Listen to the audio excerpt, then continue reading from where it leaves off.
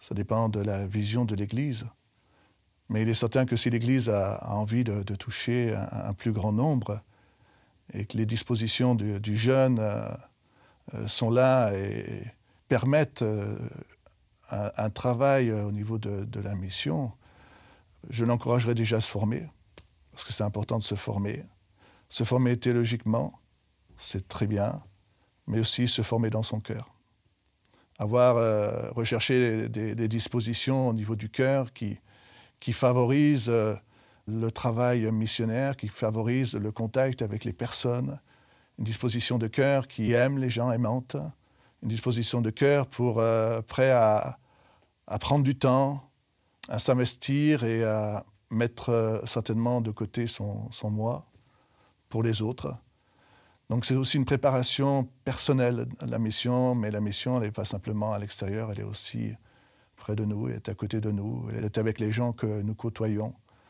Donc certainement, si on a le désir de toucher, d'aller vers les autres, eh bien, le développer, en parler, être près de ceux déjà qui vivent la mission, avoir des, référents. Je crois que c'est bien d'avoir des, modèles dans, sa vie, des modèles qui encouragent, des modèles qui nous donnent envie de, suivre la mission, de, vivre la mission, des modèles qui sont aussi près de vous pour euh, aussi vous, faire les plus hauts, mais aussi euh, vous aider à, vous trouver vous-même dans ce que vous êtes. On a besoin aussi que Dieu nous travaille si on veut pouvoir toucher les autres. Au niveau de la mission, mais le mot mission me semble englober euh, le terme évangélisation. Hein. À ce niveau-là, euh, il y a toutes sortes de, possibilités. Il y a la fête de la musique, euh, il y a les maisons de retraite. Récemment, j'étais avec un de nos jeunes qui, a fait un concert dans une maison de retraite et qui, après aussi, a prié, a invité à la prière tous ceux qui étaient là, qui avaient écouté ses, chants. Il est venu avec une présentation de ses propres compositions. Et cela a vraiment touché pas mal de personnes. Je crois qu'on peut euh, être inventif.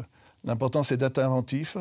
Et la mission, c'est aussi inventer, toucher, comment toucher les autres, euh, aller vers eux, pour eh bien, être euh, compris aussi, entendu par eux, dans le contexte dans lequel ils sont et ils vivent. Donc, il y a beaucoup de possibilités, et simplement eh bien, pour les mettre en œuvre. Euh, peut-être aussi en parler pour les mettre en œuvre. Euh, nous avons des, jeunes qui font des distributions de soupe. Nous avons des jeunes qui s'associent à la vie associative euh, de, la ville. Et c'est très bien de, montrer que ce qui se passe dans la ville, eh bien, pour nous, est important. Alors, la mission en Albanie, l'Albanie était un pays très fermé. Et euh, à l'époque euh, de la dictature, euh, bien le dictateur en place disait que Dieu n'avait pas de place dans, le pays. Mais aujourd'hui, il y a véritablement une belle œuvre qui se met en place.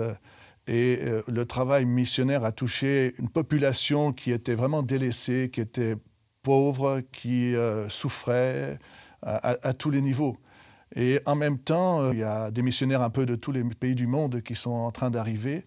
Il y a aujourd'hui une école biblique euh, construite euh, par les Américains où euh, les étudiants qui sont là sont des étudiants très jeunes, issus de, pas seulement d'Albanie, du Kosovo, c'est-à-dire de, l'ex-Yougoslavie où il y a eu toute cette guerre. Et ce qui est frappant, c'est qu'en fin de compte, ces jeunes ont entendu parler de Jésus après la guerre. Il y a eu des témoignages de missionnaires. Et l'œuvre s'est faite petit à petit. Aujourd'hui, ils sont à l'école biblique et ces jeunes sont se préparent pour témoigner de l'Évangile dans, tous les pays des Balkans, mais aussi à l'extérieur. C'est des jeunes qui ont 20 ans, 22 ans, 25 ans, avec beaucoup de joie, beaucoup de dynamisme et beaucoup de désir d'atteindre leur génération. Et on leur donne les moyens, je crois que c'est formidable à ce niveau-là. Il y a le témoignage d'une femme qui, a, qui témoignait aux femmes du village au puits. Et elle a amené plein de, elle a amené de, nombreuses autres femmes albanaises à Jésus, en témoignant tout simplement au puits où elle a épuisé de, de l'eau. Et là, elle leur parlait de Jésus. Et, et ces femmes, euh, à l'écoute de l'Évangile, euh, bien la parole rentre dans la famille, rentre dans le foyer. Et cela apporte aussi de l'espérance pour des gens qui, dont leur vie est, vraiment limitée, dont leur vie est, euh, humainement n'a pas d'avenir limités à tous les niveaux parce qu'ils sont privés de soins, ils sont privés d'habitations confortables. Il faut savoir qu'il y a des enfants qui dorment à, terre dans des euh, immeubles où il n'y a pas forcément du chauffage. Donc voilà, l'Évangile a apporté de bonnes choses. Alors le péché dans le monde, lorsqu'on regarde le, récit biblique, cela a au niveau de, l'homme une séparation parce que Adam et Ève ont été expulsés du jardin, mais aussi, on peut dire, le temps de l'innocence. Ils ont découvert qu'ils étaient nus, ils ont eu peur de Dieu. La création qui était pour eux un lieu aussi privilégié dans lequel ils pouvaient profiter des fruits que cette création euh, donnait, eh bien, la, Bible dit qu'en fin de compte, le sol va être maudit. Il y a toute une suite de conséquences, et une fois que l'homme est, expulsé euh, du jardin, il y a là aussi une, une montée de la violence. Qu'un tuera son frère Abel, le mec, la Bible nous dit qu'il tuera aussi des hommes, et nous arrivons au temps de Noé où la Bible dit que les pensées des hommes étaient uniquement tournées vers la violence, vers le mal. Donc il y a eu comme une augmentation qui s'est faite jusqu'au temps de Noé avec ce que nous savons, ce qui s'est passé après, à cette époque. Dans l'Ancien Testament, pour être sauvé, il euh, fallait suivre, obéir à, la loi de Dieu, à la loi de Moïse, appelée la loi de Moïse mais donc cela sous-entendait une obéissance euh, stricte au commandement. Mais en même temps, euh, cette obéissance stricte, euh, le constat, c'est qu'il était difficile d'obéir à, cette loi. C'était le moyen. Donc il y avait des sacrifices à chaque fois pour le péché qui étaient offerts à Dieu. Il y avait des prescriptions bien précises au niveau des sacrifices, mais ils étaient renouvelés. Tandis qu'avec Jésus, avec la croix, le sacrifice est unique, il est une fois pour toutes, pour l'humanité. Et lorsque l'homme pêche, eh bien c'est par la foi qu'il reçoit le salut. Et lorsque l'homme pêche, celui qui croit, eh bien pêche, c'est par la foi qu'il obtient aussi le pardon de ses péchés. Donc il n'y a là pas une obligation de, de sacrifice, il a tout simplement une proposition que le sacrifice est déjà accompli et tout simplement eh bien, croire dans le nom de Jésus, s'approcher de, Jésus, confesser son péché au Seigneur et croire qu'il est celui qui nous pardonne. La venue de Jésus, c'est l'envoi de Jésus par le Père. On a dans, cet envoi de, Jésus aussi une, image, on pourrait dire, de, la mission dans, dans ce qu'elle l'homme qui est envoyé, un homme euh, qui a une mission précise. Jésus était là pour euh, accomplir la loi, il le dira lui aussi, il était là aussi pour donner sa vie en, rançon pour les péchés des hommes, il était là pour euh, offrir sa vie, mais en même temps il est venu aussi avec des, sentiments précis.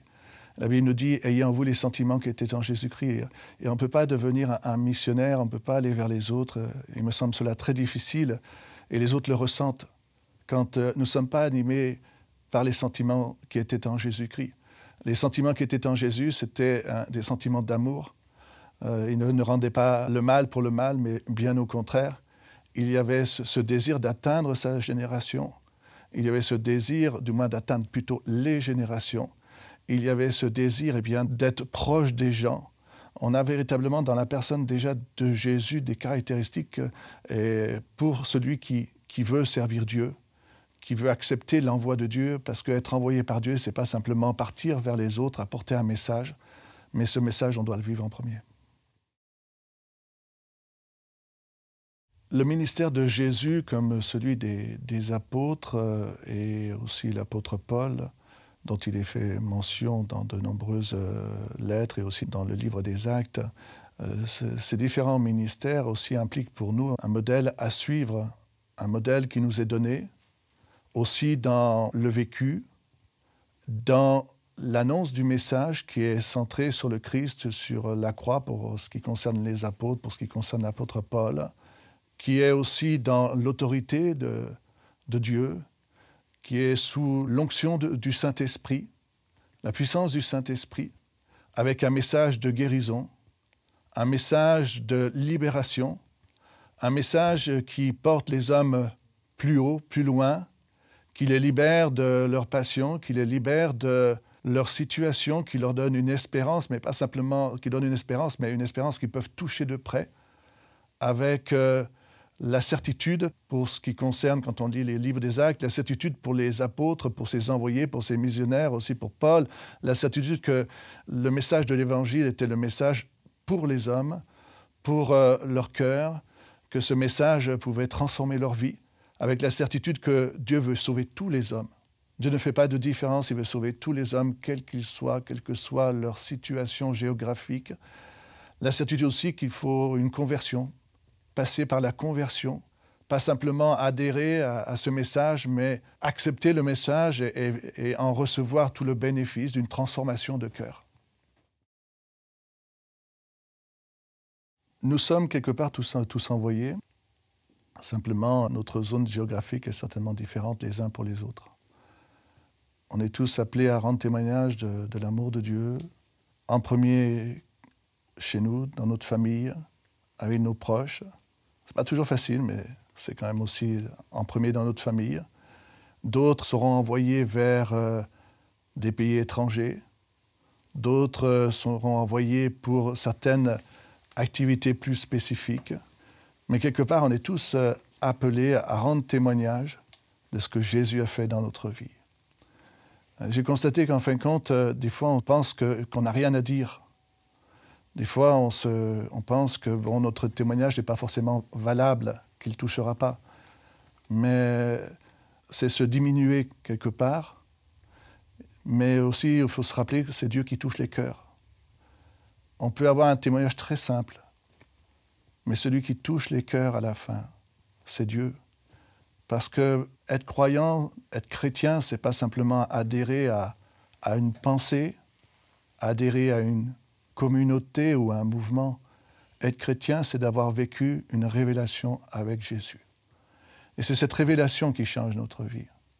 Il y a beaucoup d'hommes et de femmes dans, nos églises qui ne seraient jamais dans nos églises s'il n'y avait pas eu cette révélation dans leur vie.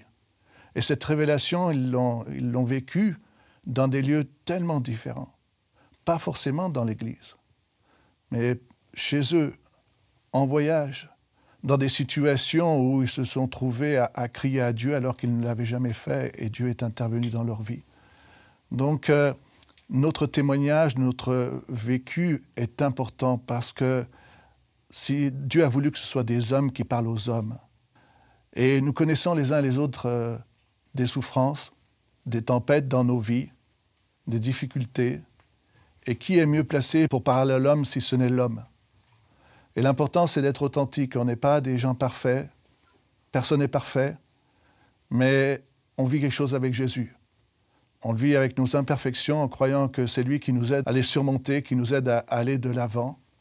Mais notre témoignage, si il est rendu, eh bien, c'est Dieu qui arrosera pour euh, ce qui est semé dans le cœur puisse prendre forme et croître. Donc, nous sommes effectivement tous à rendre témoignage, à être des témoins, à être des missionnaires chez nous, dans notre village, dans notre ville, dans notre pays, aux frontières de notre pays et à l'extérieur des frontières, c'est-à-dire dans les pays beaucoup plus lointains. Le message de l'Évangile, c'est le plus beau message. C'est un message euh, qui correspond à l'homme qui laisse l'homme dans son choix, dans son libre choix. C'est le message d'amour de, Jésus. C'est un message qui nous parle de l'amour de Dieu pour nous, de toute sa compassion pour euh, chacune de nos vies. Et le message de l'Évangile, c'est encore dans notre monde, dans notre pays, dans notre pays laïque, le message qui correspond à l'homme d'aujourd'hui. La Bible dit que Jésus est le même hier, aujourd'hui, éternellement. C'est vraiment un message pour l'homme d'aujourd'hui, même dans la modernité ou post-modernité. Tout dépend comment on se projette, mais c'est le message pour nous aujourd'hui.